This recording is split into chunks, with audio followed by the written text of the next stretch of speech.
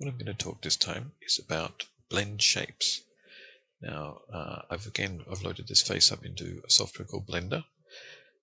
It actually calls them um, shape keys in Blender, but uh, I'm going to be doing most of the series in Unity uh, where they're called blend shapes. And so I'm going to use the name blend shapes.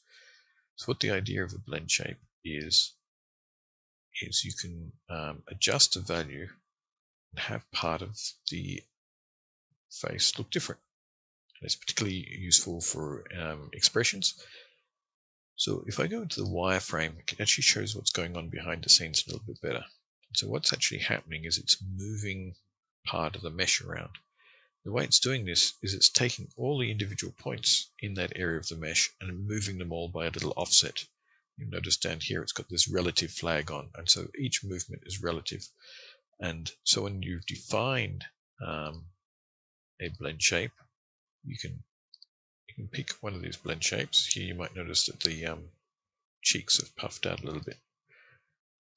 And somebody's gone through and for each one of these different blend shapes, they've modified the mesh. And so I can now take this blend shape and apply it to this face and you get different expressions coming out.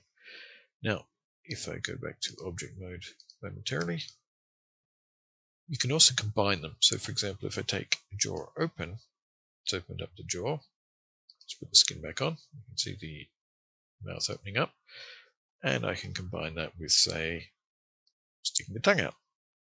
And there we've got two of them put together.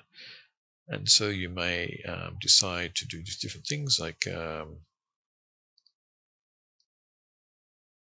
close the eyes. And there I've got person sticking both tongue, uh, closing both eyes, sticking the tongue out something. And so these are the sorts of expressions that I want to be able to animate in Unity later on.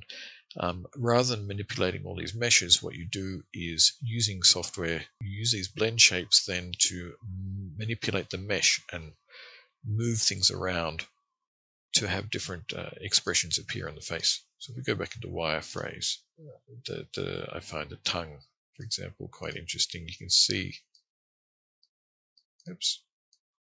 You can see that the tongue moves in and out and it's basically just manipulating all those points in the mesh. So it, it's not, it takes a little bit of effort and a little bit of skill in something like Blender to move the, the mesh around, but uh, that's how it basically fits together. So these are blend shapes or shape keys in Blender. Um, I'm going to use Vroid Studio. Vroid Studio comes with a default set and there's some other tools that can add different blend shapes to your character if you wish them. And we'll talk about that in another episode.